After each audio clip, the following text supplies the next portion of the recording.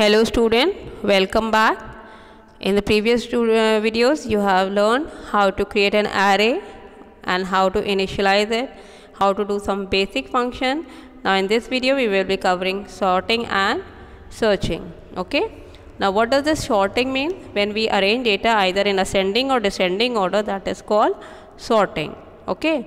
Basically sorting are of many types. One is insertion sorting. In this what happens?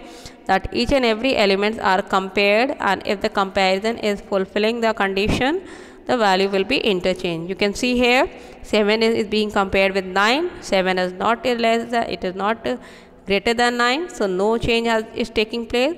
Then 7 is compared with the next third variable that value that is 2 so yes 7 is greater than 2 so now there is an interchange required okay so this way it will continue and finally at the end in the fourth pass you will get the sorted list. You can see here each and every element is compared and then interchange takes place only if it is fulfilling the condition. Okay now let's see the program of it.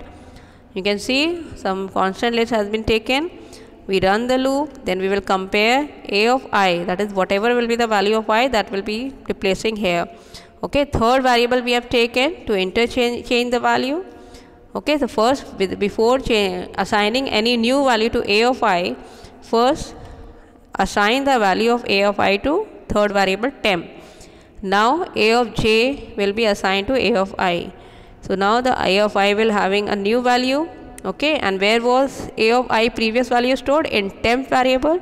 So that will be assigning to a of j. This way interchange take place. You have done this program of swapping before also swapping of number by using third variable and finally this way you will have the sorted list and finally outside the loop again run another loop for printing the values of a of i which will be holding the sorted list okay then we have bubble sorting. Now in bubble sorting what happened?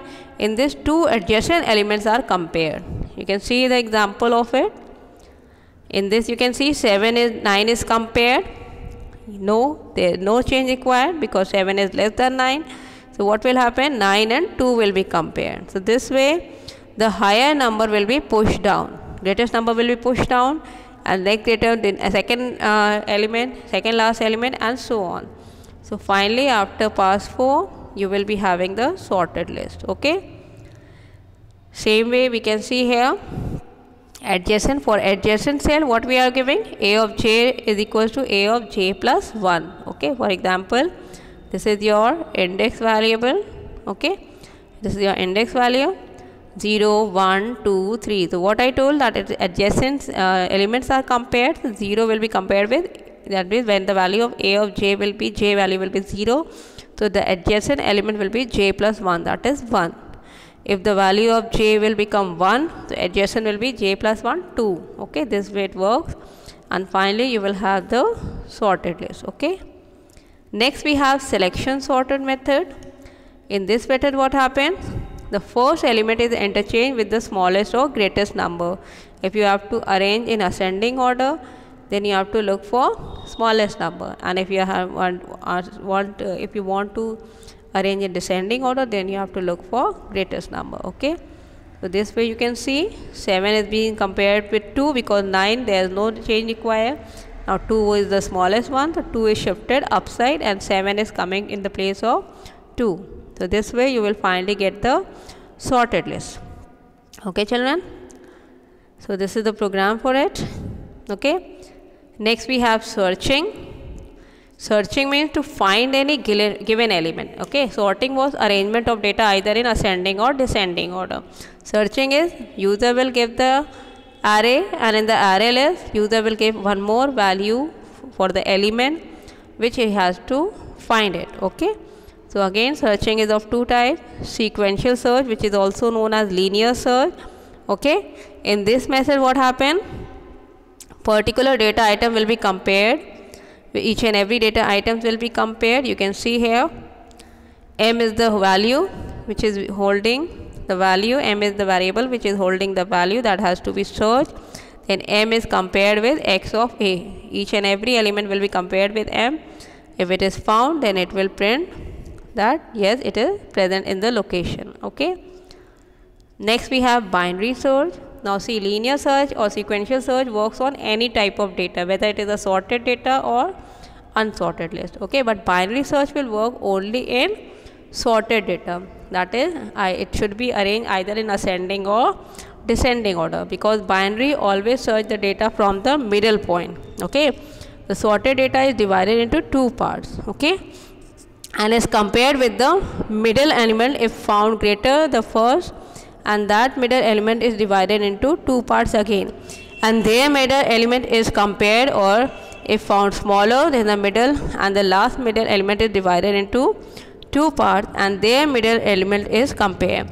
This process goes on until search complete. This method of search is quick and saves our time. It is also known as random search. Okay, like sequential search was also known as linear search. So binary search is also known as random search. Okay, it is the quickest method. So in this what we have to do? One we take beginning is equals to 1, n is equals to 10, 10 is equals to 0, okay, and a mid term. Now what you have to do?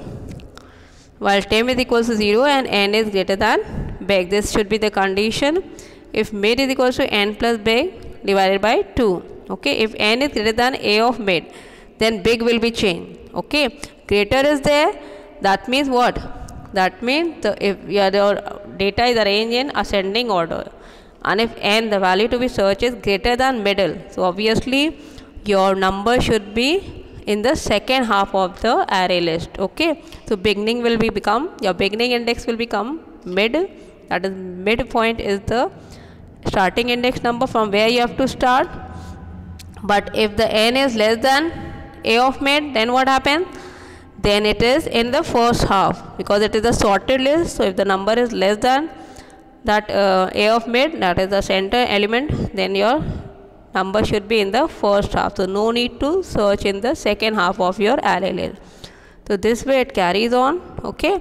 And finally if the number is found to take a counter and set its value as 1 a switch is there whose value temp is there whose value has been set to 1 as soon as the number is found and if temp is equals to 1 the number is at location n and mid okay so this way your bubble sort complete. Same way you have a simple program for finding the average of n and n of less than 10. Okay. Now in this what happened? Marks you are taking sum and average for storing the value of sum and average. Enter n, get the value. Okay. Now you run the loop for i equals to 0, i is less than n. Enter number you get the number and marks okay? Marks you get and then sum is equal to sum plus marks of i. Whatever will be the element of marks that will be the value of that has to be added to the value of sum okay? And finally when the loop will terminate uh, terminate you will be having the total sum of the marks okay? And for finding average what is the formula? Sum of total marks upon number of subjects. That means right now suppose user has entered n we don't know what number user has entered how many numbers user entered. So that is n n okay? So sum divided by n this will be the average. So average is equals to percentage average.